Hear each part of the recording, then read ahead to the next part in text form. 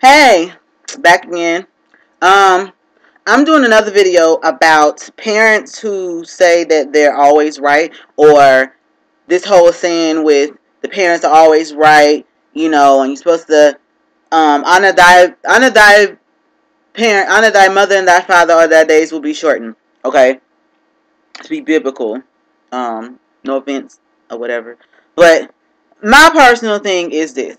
This is my personal opinion, and I know some people ain't gonna like it, but I don't care, whatever.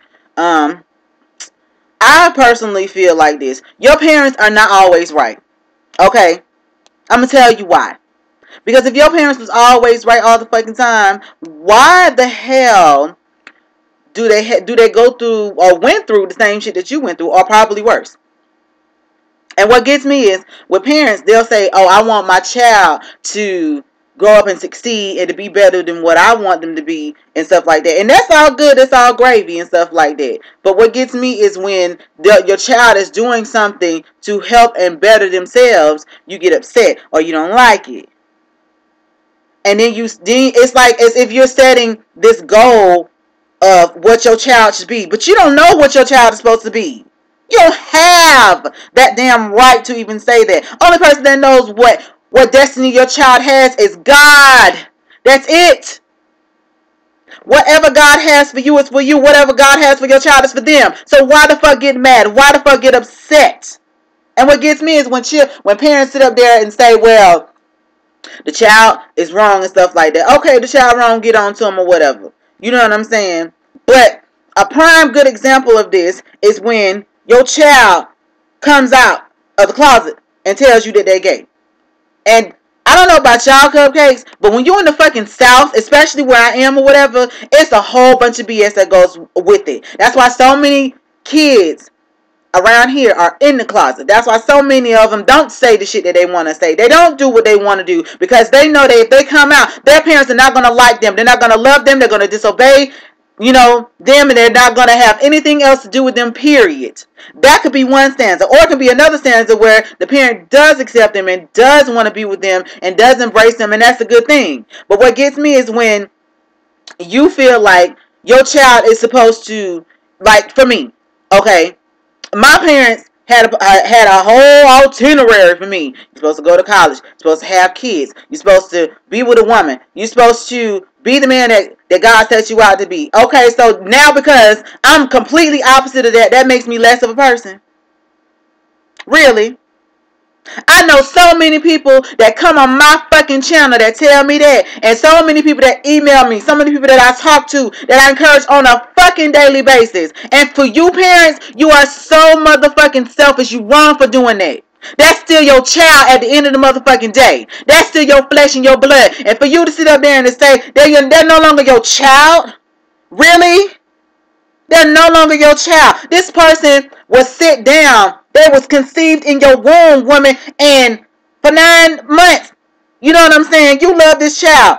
Before they was doing all these good things, all these great things. That did not make them less of a person. But now all of a sudden, because they came out of closet, they're no longer your child.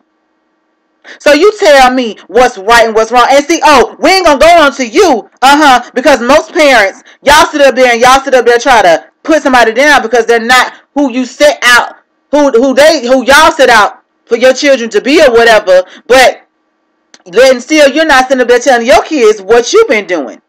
Oh no, you ain't telling your your children. Oh, I got two other children from my dog from you know other women or whatever, plus my own regular you know family and my own my own wife and children and stuff like that. Oh, and I ain't gonna say nothing about oh I was sleeping with this other man the next day or whatever, knowing that I got a husband back at home.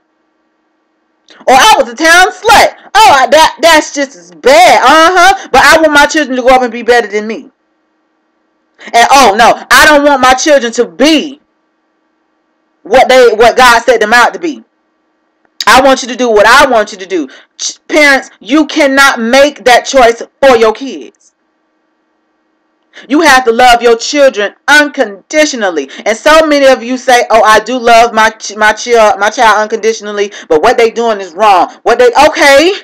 You act like you ain't never done nothing wrong before in your life. Really? You act like you ain't got no skeletons in your your closet. See, you can't go sweeping under somebody else's carpet if you ain't swept, swept under yours. Really? Really?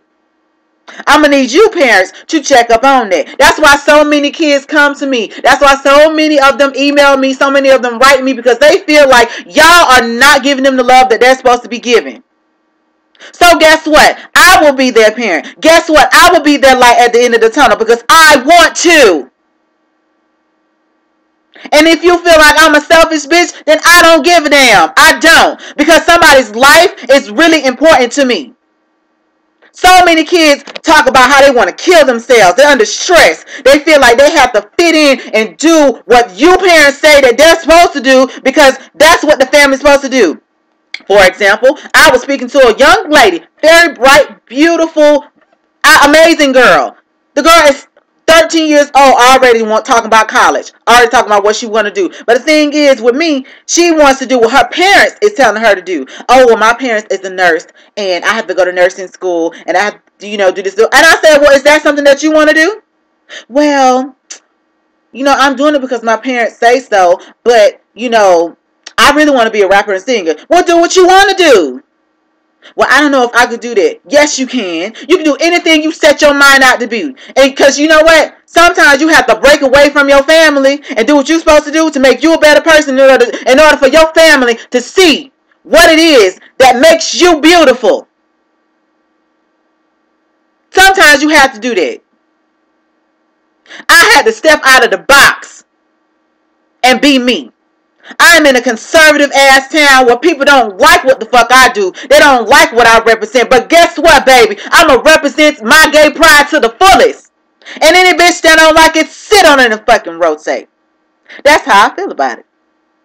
Cause you know what? Cause at the end of the day, sweetie, I have more love and more, many more cupcakes that's going to come to me because they know, they know that I love them unconditionally. I don't judge nobody. I don't do nobody no harm. It's when you do me harm and do something that people that I care about, that's when I speak up. That's when I say some shit that you won't like. So parents, if you going to be there for your kids, be there for them unconditionally. Love them past their pain. Be there for them. Encourage them. Uplift them. Make them be better people than they are supposed to be. And if there are, if there are better people that they are supposed to be, continue to support them. Continue to be there for them. Do not go astray from your kids. Because regardless of what your kids are telling you, they still look up to you. And when they don't, when you when you turn your back on your kids, that's when they go out and they do stuff that they ain't supposed to do. That's when your child, your girl go out and get pregnant and sleep with anybody. That's when your son go out and he go and be a pimp and a hoe and a, a low down fatherless fatherless boy to whomever. That's when your child goes astray. And like I said, if y'all don't want to be that to your kids, I will be that light to your kids. I will be the light to the end of the tunnel because my whole purpose on earth is to be a light to somebody in times of need and darkness. I want to be a legacy. I want to live on. I want to be somebody that people will remember in a positive light. And if I had to be that, then I would be that. My sexuality does not determine my personality, baby. I have more personality than you guys think. but um but yeah, to the parents and stuff like that, y'all really need seriously, truthfully, and honestly. All this this so y'all need to sit down, talk whatever, and talk civilly, civilizedly. You know, because kids nowadays are doing things that they're not supposed to do because they're not getting the guidance from home or the love that they're supposed to be getting at home. Or they don't have it. So they come to people like me that's to give it to them. And I'm to give it to them. I am. If you're there or not, I'm to give it to them because they look up to me and I look up to them. And I'll be damned if I'm going to let you do that. Now, I might be wrong for saying that. And I, if I am, Lord, forgive me. But I, it's a person's life. It's somebody's life that looks up to me. And I'll be damned if I turn my back on them. That'll make me worse than you. I ain't doing it.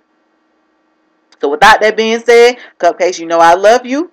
Parents, get on it. But y'all know I love y'all. Bye.